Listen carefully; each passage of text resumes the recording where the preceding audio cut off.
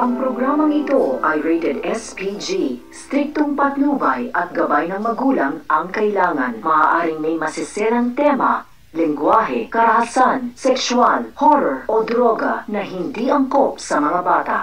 Heto na po ang last part ng ating episode para sa araw ng Miyerkules. Masayang ikinabit ng bawat pamilya ang kanilang mga parol sa kanilang tahanan. Wika nga ni Elvie, kahit saan man daw sila mapunta, ang mahalagang araw ay mayroon silang isang pamilyang mababalikan. Pamilyang matibay, sagot naman ni Marvy. Pamilyang matatag, tugon naman ni Paula.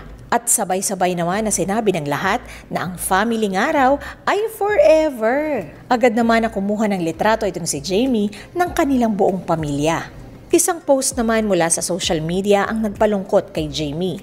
Ayon sa kanya, isang araw sa kanyang mga kaklase ang nagpost at sinabing mag-ingat nga raw sa kanilang pamilya sapagkat sila ay pamilya ng mga scammers. Nang makita naman ito ng kanyang mga magulang, ay pinlano nga ng mga ito na magreklamo sa principal's office kinabukasan. Ngunit agad naman silang pinigilan ng kanilang anak. Ayon kay Marvy, hindi na nga raw sila dapat pa naapektuhan sa sinasabi ng ibang tao, lalo na nga raw kung wala naman itong katotohanan. Tinanong ni Andre itong si Camille kung bakit napakalungkot pa rin ito kahit maliwanag na nga ang kanilang paligid. Malungkot na sinabi ni Camille na maaaring mawala ng araw sa kanila ang tahanang kanyang kinalakihan. Ikinuwento niya nga rin sa binata ang mga lugar kung saan nga daw siya lumaki at naglalaro noon. Naikwento rin ng dalaga na naisan lang raw nila ang kanilang tahanan noon sapagkat kinailangan nila ng pera pampagamot sa kanyang mamay. Pinlano niya nga rin sanang mabawi ito ngunit parang hindi na nga raw yata ito mangyayari pa. Pero sinabi naman ni Andre sa kanyang nobya na hindi naman daw niya hahayaan na mawala ng tirahan nitong sila Camille.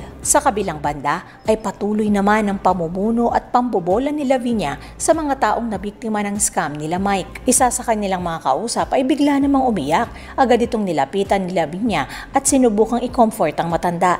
Ayon sa kanya, huwag nang araw umiyak itong si Lola Imelda. Pero agad naman siyang napahiya dahil sinabi ng matanda, hindi nga raw Imelda ang kanyang pangalan kundi isi lasing at hindi naman napigilan ni Patricia na matawa. Sa pag-upo ni Lavinia ay nakita nga ni Patricia na pasimpleng kumuha ng alcohol sa kanyang bag itong si Lavinia. Tila diring-diri sa pagkakahawak niya sa matanda. Ang lahat ng ito ay nasaksihan nga rin ni Andre na nasa isang sulok lamang ng gusali. Dito na nga po nagtatapos ang ating episode para sa araw ng Miyerkules. Maraming salamat po sa inyong pakikinig and God bless us all. Don't forget to subscribe mga kaibigan. Salamat!